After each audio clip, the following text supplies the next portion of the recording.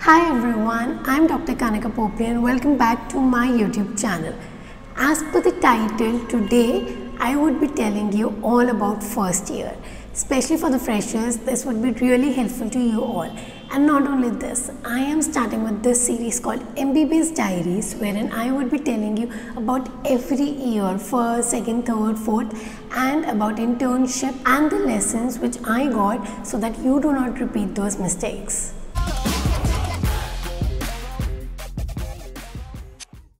So let's get started with the first year. So yes, freshers, what do you think about college? Having fun, sitting in canteens with friends, no attendance issues, traveling, enjoying and like wearing anything you want to if this is what you think, then just bust the myth because this is not happening if you are entering the MBBS college. In medical college, first year is known to be one of the most hectic years. It's like first year and the final year, these two years are really hectic. And also you are coming directly from like 11, 12 to a very new environment in a medical college, things become much more hectic too. Now, if I talk about the classes, the classes timing is just like if you are in a school 8 to 2 or 8 to 4 depending upon which college you are in some colleges the first year classes extend up to 8 to 4 wherein they give you one hour break in between. And in some colleges the classes are from 8 to 2 wherein the break is like after 2 o'clock. So this is what it is. You have a very tight packed schedule wherein you need to like get up get ready have breakfast and rush to the college for your classes. That is from 8 to 2 so now in this whole timetable what all subjects do you study? Anatomy biochem and physiology. So these three subjects are what you need to study. Along with that you also have classes for psm that is community medicine or preventive and social medicine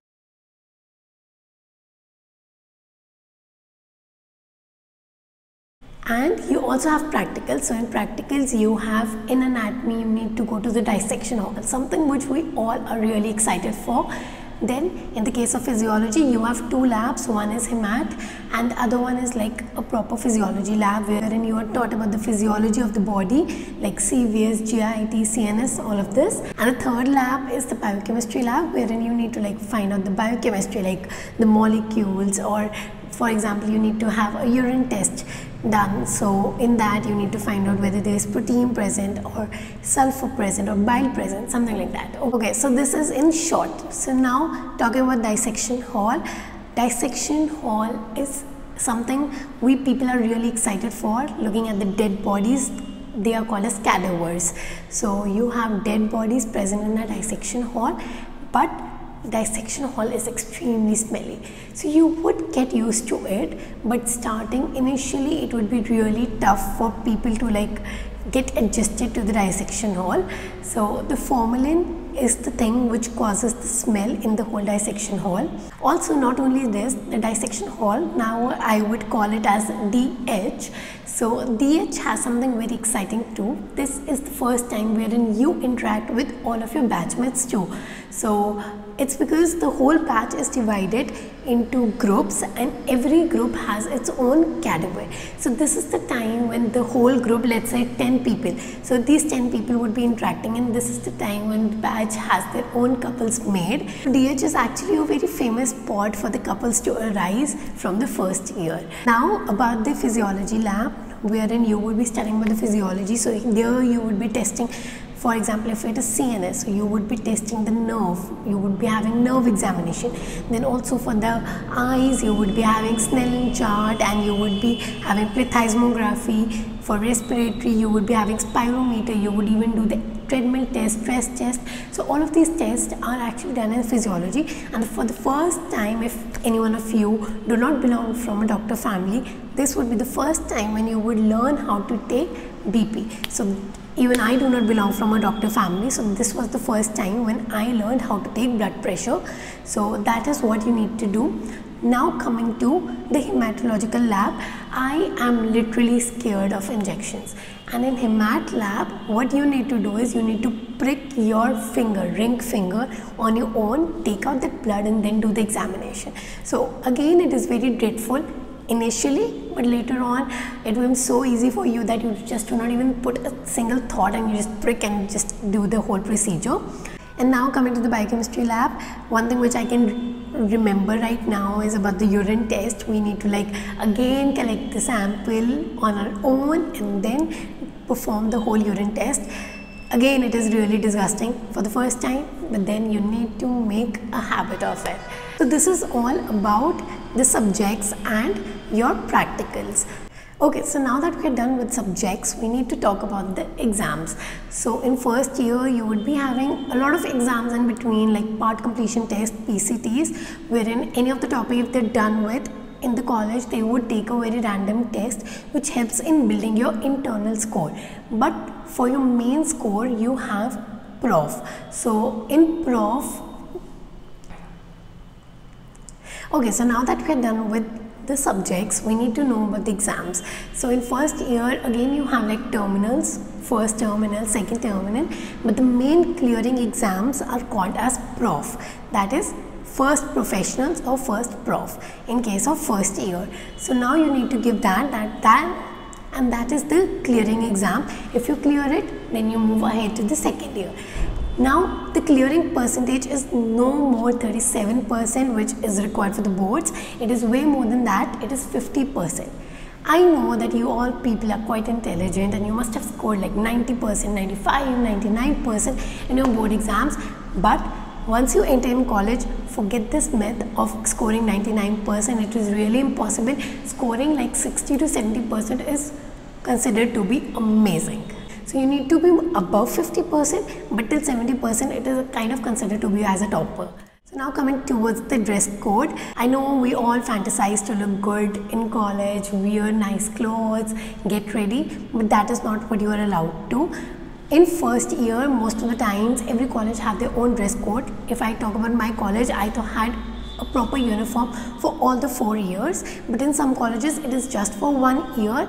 And most of the time the dress code is about a suit wherein you need to wear a salwar and a kameez with the dupatta. And then you also have to wear an apron over it. So the lab coat what we used to call it in 11th and 12th is now called as apron. So this was also a new term which you learn.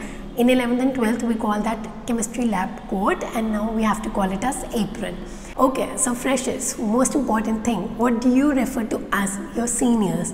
Here you do not call your seniors as Didi or Bhaiya or by name, you need to refer them as ma'am or sir or boss.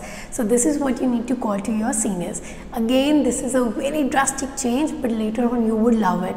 Rather than calling anyone Didi or Bhaiya, I think it is better calling them as ma'am and you would be craving for the time when you will go into second year and then your freshers would come and they would be referring to you as ma'am or sir or boss also a very important thing that now you're freshers you cannot like move freely in the whole campus everything before the fresher party you need to be in a proper decorum and the whole class has to like go into proper queues proper lines. Even if you are going to a mess or you are going to let's say lecture hall there you everyone has to go in proper lines and then only like everywhere you need to like properly go into lines. So this is a very different part of it but once the fresher party is done so the ice is break between the seniors and the freshers and then you can like do whatever you want to. Then mbbs is all about respect if you give respect to your seniors the seniors would definitely show love to you. So you need to always remember this thing that you need to respect your seniors. Anywhere you see them you have to wish them like good morning good evening good afternoon. If you don't do most of the times they would like stop you or scold you about it. So don't do this mistake. Even your time would come and then you would also get the same kind of greetings also first year is the year to make friends to interact with people and to understand what kind of friends you want. Once you'll enter the medical college in first year i'm telling you you would have a group of let's say 10 to 20 people. But make sure that you do not attach yourself to them because later on everyone would disperse and like detach and then you would not actually be left with a group of 10 people. Later on it would be just two or three friends left. So make sure that you do not trust everyone because in hostel you would have different variety of people. And by variety I do not mean that people are coming from different areas. By, variety I mean different mindset. Here maybe you are entering this college at 18 there would be people who would be much more experienced entering the college at 20 or even 17 or even like 21 so when they are more experienced they have more life experiences so they are cunning. So make sure that you do not fall into that trap. So that is it. This is kind of a summary of first year. And believe me first year would be one of the best years of your life. At least in my case i really cherished my memories of first year. They were amazing. And we used to like roam around have fun. And i have like gone to so many cities so many places around my college during the first year itself so do not burden yourself with the studies the moment you enter the college. You have time so relax and enjoy.